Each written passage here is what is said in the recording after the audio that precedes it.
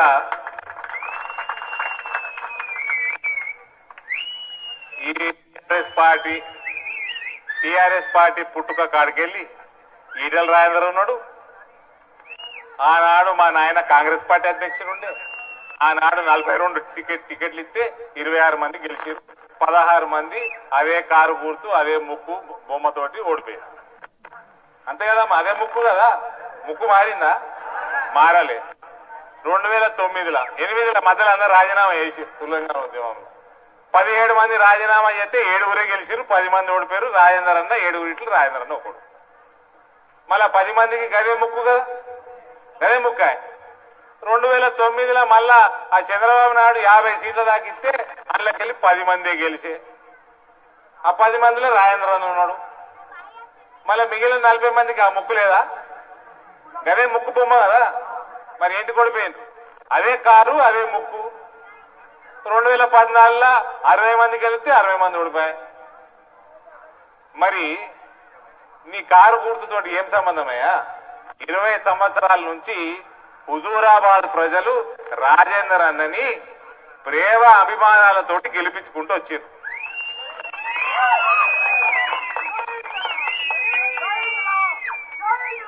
ఇరవై ఏళ్ళకెళ్ళి రాజేందర్ అన్న మీ మధ్యలో ఉండి మీకోసం పనిచేయకపోతే గెలిపిస్తారా అండి మీరు? గెలిపిస్తారా గెలిపారు కదా. మరి ఇరవై ఏళ్ళ నుంచి హుజూరాబాద్ ప్రజలు గెలిపిస్తున్నారంటే దానికి అర్థమైంది? దానికి అర్థమైంది?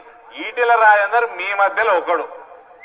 మీకోసం పనిచేస్తాడు ఇలా రాజేందర్ అన్న చెప్తున్నాడు. ఇన్ని వర్షాలు పడ్డా కూడా ఒక్క జాగలో కూడా మట్టి రోడ్ లేదంట హుజూరాబాద్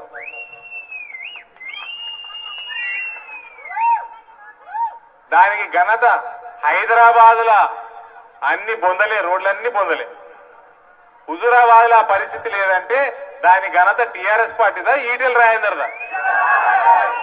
మరి ఈయనేదో పెద్ద అందరు ఎమ్మెల్యేలు మంత్రులు వేరే ఎంపీలు అందరు వచ్చి పాడైతున్నారు వీడికి అందరు వచ్చి పాడై ఓ డబల్ బెడ్రూమ్ ఇల్లు కట్టలే డబల్ డబల్ బెడ్రూమ్ ఏడే కట్టిర్రా ఆయన సిద్దిపేట నాలుగైదు కట్టిన కూలిపోతున్నాయి. అవి కూడా కూలిపోతున్నాయి కదా? కూలిపోయే వీడియోలు అన్ని సర్క్యులేట్ అయినాయా లేదా? ఏడ తెలంగాణలో. ఎక్కడ కట్టలే? రాజేందర్ అన్న దమ్మున్న మొనగాడు కాబట్టి పోయి చెవులు విండి నాలుగు వేల ఇల్లు పర్మిషన్ తెచ్చుకొని రెండు వేలు కట్టిండు.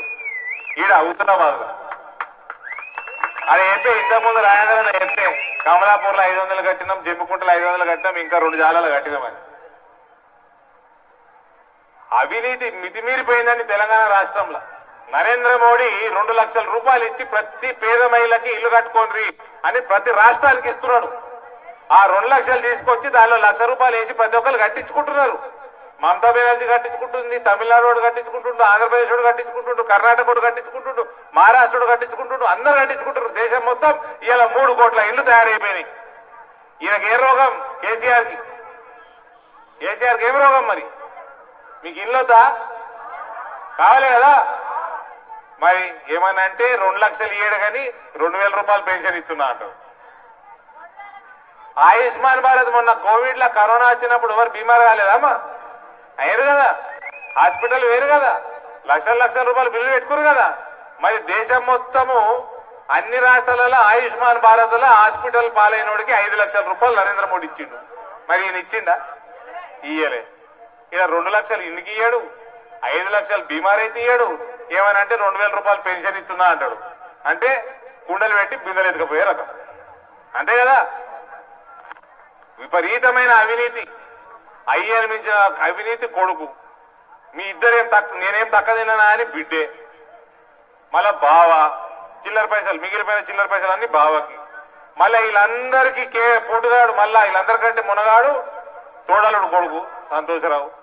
వీళ్ళందరూ కలిసి ఐదు ఐదుగురు కలిసి తెలంగాణ రాష్ట్రాన్ని దాదాపు ఐదు లక్షల కోట్ల అప్పులలో ముంచి.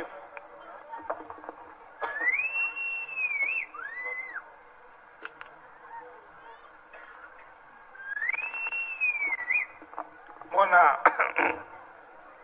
ఆగస్టులో నరేంద్ర మోడీ గారి దగ్గరికి నా పిల్లగాళ్ళని తీసుకొని పోయినా. నా పిల్లగాళ్ళని తీసుకొని పోతే నా చిన్న కొడుకు నాలుగేళ్ళోడు నాలుగైన వాడు బాగా అల్లరి చేస్తాడు అల్లరి చేస్తుండని నరేంద్ర మోడీ ఇట్లా రెండు చేతులతోటి రెండు చెవులు విండి వాడు కాము ఉన్నాడు అర్ధగంట సేపు కాము ఉన్నాడు నరేంద్ర మోడీ చెప్పినవన్నీ అందరం మాట్లాడినాం చేసినాం బయటకు వచ్చినాం చెవులు విని. అల్లరి బాగా చేస్తున్నారు. అది కాగానే పది రోజులకి కేసీఆర్ పోయింది కేసీఆర్ పోతుందని ముందే చెప్పిన ఈ పలానా పలానా అవినీతి జరుగుతున్నదని. మరి కేసీఆర్ ఏం పెట్టిండు? ముక్కువేడా నా చిన్న కొడుకు అల్లరి ఎత్తుండని చెవులు విండిండు కేసీఆర్ విపరీతమైన అవినీతి ఎత్తుండని ముక్కు వినిడు మొన్న. అయినా సిగ్గుస్తలేదు కేసీఆర్. అయినా అబద్ధాలు ఆడుతున్నాడు. దళితుల్ని మోసం చేస్తున్నాడు. బీసీలను మోసం చేస్తున్నాడు. రైతుల్ని మోసం చేస్తున్నాడు. మహిళల్ని మోసం చేస్తున్నాడు. అందరికీ యువతని మోసం చేస్తా ఉన్నాడు. ఇటువంటి కేసీఆర్కి బుద్ధి చెప్పాల్సిన అవసరం ఉన్నదా లేదా అన్నా? ఏమక్క? ఉన్నదా లేదా? ఈటల రాజేందర్ గెలిస్తే కేసీఆర్కి బుద్ధి వస్తుంది కేసీఆర్కి సోయ వస్తుంది కేసీఆర్ మర్చిపోయిన వాగ్దానాలన్నీ కేసీఆర్ యాదికొస్తాయి. తెలంగాణ వ్యాప్తంగా డబుల్ బెడ్రూమ్ ఇళ్ళు వస్తాయి మూడెకరాల పొలాలు వస్తాయి దళిత బంధు వస్తుంది కేజీ టు పీజీ ఉచిత విద్య వస్తుంది. కాబట్టి హుజూరాబాద్ ప్రజలు తెలంగాణ రూపురేఖలు మార్చాల మీరు ఈటల రాజేంద్రని గెలిపించేసి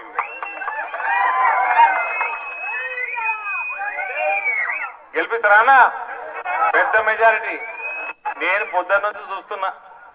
ఇలా ఎండలు బాగున్నాయి. ఎండలో తిరుక్కుంటా చూస్తున్నా. ఈడ ఎలక్షన్ లేదు మన్ను లేదు. ఏడవైనా ఈటల ఈటల ఈటల ఈటల ఈటలనే అడ్డు. ఏడవైనా వన్ సైడే ఉన్నది ఎలక్షన్ పెద్ద మెజారిటీ తోటి ప్రేమతోటి నెంబర్ వన్నే ఉన్నదట మళ్ళా ఏంది ఈటలన్న పేరు? పోలింగ్ బూత్ మీరు పోగానే మెషిన్ మీద ఈవీఎం మీద నెంబర్ వన్. ఇక కిందికి చూడకుర్రి పైన పైన ఒత్తిర్రి బయటపడు. అంతేనా? పక్క? మళ్ళా కిందకు కిందకు చూస్తే చూడబుద్ధి కాని ముఖాలు ఆ గలీజ్ రంగులు ఆ ఇవన్నీ కేసీఆర్ గారికి నేను థ్యాంక్ యూ చెప్తున్నా. ఈటెల రాజరన్న బీజేపీకి ఇచ్చి. భారత్ మాతాకి.